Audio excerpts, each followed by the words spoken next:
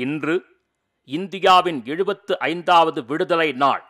நவீன உலகம் இதுவரை கண்டிராத பெரும் போராட்டங்களில் ஒன்று நமது புகழ்பெற்ற விடுதலைப் போராட்டம்.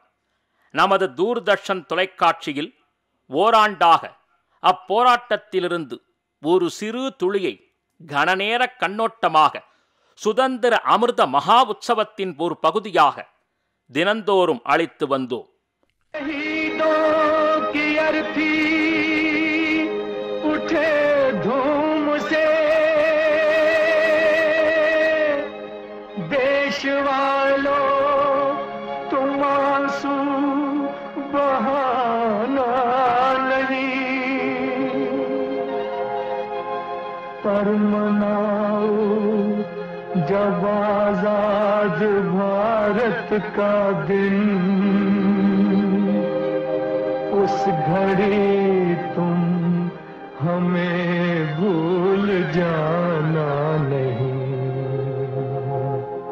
அத்தொடரின் இன்றைய நமது நிறைவு நிகழ்ச்சியில் எழுபத்தைந்து ஆண்டுகளுக்குப் பின் செல்வோம்.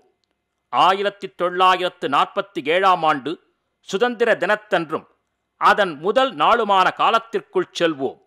சுதந்திர இந்தியாவின் முதல் பிரதமர் ஜவஹர்லால் நேரு அவர்கள் ஆற்றிய விதியுடனான ஒப்பந்தம் என்ற பேச்சை நாம் நினைவு கூர்வோம்.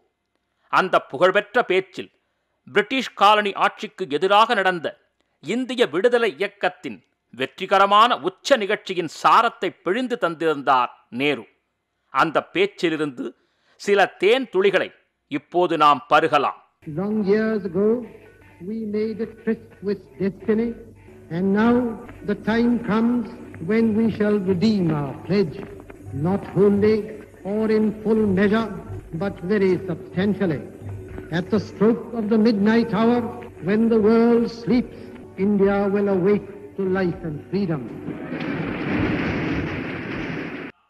அரசியல் நிர்ணய சபையின் தலைவர் என்கிற முறையில் டாக்டர் ராஜேந்திர பிரசாத் இந்தியாவின் வருங்கால நோக்கம் குறித்து விவரித்தார் Our public servants in various departments of government have to shed their role as rulers and have to become true servants of the people that their compeers are in all free countries.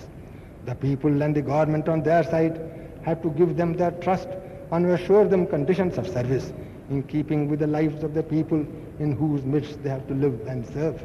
We welcome the Indian states which have acceded to India and to their people we offer our hands of comradeship.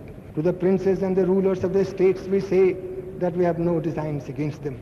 We trust they will follow the example of the King of England and become constitutional rulers. They would do well to take as their model the British monarchical system which has stood the shock of two successive world wars when so many other monarchies in Europe have toppled down. To Indians settled abroad in British colonies and elsewhere, we send our good wishes and assurances of our abiding interest in their welfare. To our minorities, we give the assurance that they will receive fair and just treatment and their rights will be respected and protected. இந்திய அரசியல் அமைப்பை உருவாக்குவதில் இருந்த முக்கிய பணி குறித்தும் doctor Rajendra Prasad குறிப்பிட்டார் One of the great tasks which we have in hand is to complete the constitution under which not only will freedom and liberty be assured to each and all, but which will enable us to achieve and attain and enjoy its fulfillment and its fruits.